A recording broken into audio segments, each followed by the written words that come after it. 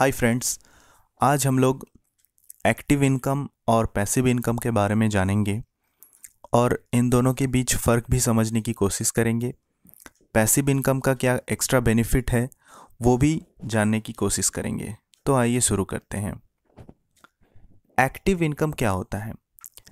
ऐसा इनकम जो पाने के लिए मुझे एक्टिवली पार्टिसिपेट करना पड़ा था।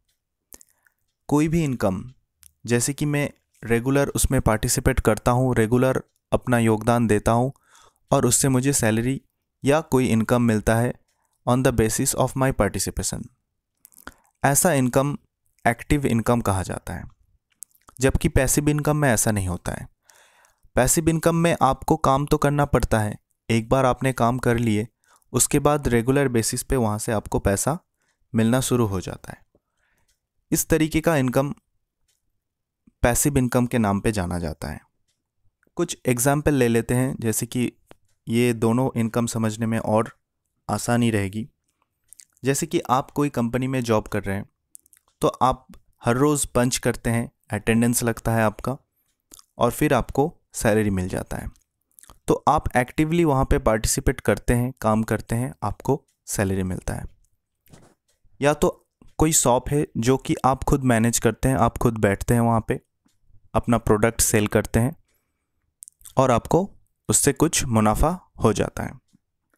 तो इस तरीके की इनकम को हम लोग एक्टिव इनकम कहेंगे। जबकि पैसिव इनकम का भी बहुत एग्ज़ाम्पल है और उसका अलग अलग बेनिफिट भी है तो वो समझ लेते हैं। जैसे कि वही शॉप अगर आपने रेंट पे चढ़ा दिए और आपको हर महीने रेंट मिल जाता है तो इसमें आपको कुछ कर नहीं आपको कुछ करने, करना नहीं है। जस्ट मंथ के एंड पे आपको रेंट का पैसा लेना है। या तो आपके पास कोई खाली घर है, जो आपने रेंट पे चढ़ा दिए है और मंथ के एंड पे आपको पैसा मिल रहा है। तो इस तरीके का इनकम, पैसिव इनकम कहलाता है। आपका कोई खुद का छोटा बिज़नेस भी हो सकता है, जहाँ पे तीन चार एम्प्लॉय है। वो लोग खुद से वो काम कर लेते हैं, आप सिर्फ़ प्रोडक्शन रिपोर्ट देखते हैं, इनकम कैलकुलेट कर लेते हैं। तो इस तरीके का बिज़नेस भी पैसिव इनकम के अंदर ही आ जाता है। और कुछ एग्ज़ाम्पल ले लेते हैं, जैसे एक यूट्यूब चैनल है, जहाँ पे आपने एक दफ़ा वीडियो पोस्ट कर दिए और आप अभी मज़ा कर रहे हैं, आप सो रहे हैं, आप कुछ भी कर रहे हैं और आपका यूट्यूब चैनल में व्यूज़ आ रहे हैं, जिसके बिना पे आपको पैसा मिल जाता है। तो ये भी एक पैसिव इनकम ही है। या तो आपने अपना पैसा स्टॉक्स में लगाया है बॉन्ड्स में लगाया है, जहाँ पे आपका पैसा रेगुलर ग्रोथ हो रहा है। तो ये जो ग्रोथ आ रहा है, ये भी इनकम पैसिव इनकम कहलाता है। और कुछ इंटेलेक्चुअल प्रॉपर्टी से आपको रॉयल्टीज़ मिल जाता है, जैसे कि आपके म्यूज़िक है खुद का स्क्रिप्ट है या कुछ पेटेंट है, जहाँ से आपको रॉयल्टीज़ मिलते हैं। तो ऐसे इनकम को पैसिव इनकम कहा जा सकता है। तो अब इसका बेनिफिट क्या है, थोड़ा समझ लेते हैं पैसिव इनकम का। पैसिव इनकम जब आप जनरेट करना शुरू कर देते हैं तो एक रेगुलर स्ट्रीम ऑफ़ इनकम आता रहता है आपका, खुद का एक्टिव पार्टिसिपेशन के बिना।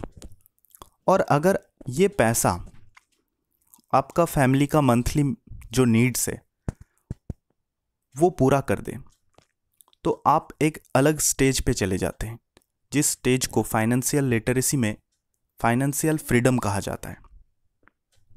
तो जब आप फाइनेंशियल फ्रीडम तक पहुँच जाते हैं, तब आपको कोई चिंता नहीं रहता है कि मुझे एक्टिवली काम करना ही है तभी मेरा फैमिली खुश रहेगा, तभी मेरा फैमिली का जो नीड्स है वो पूरा हो पाएगा।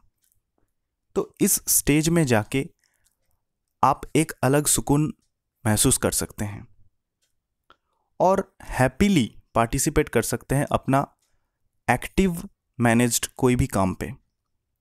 पहले आप बॉस के डर पे काम करते थे, अभी जब आप फाइनेंशियल फ्रीडम रह, हो गए हैं तो आप हैप्पीली पार्टिसिपेट कर सकते हैं उस काम पे।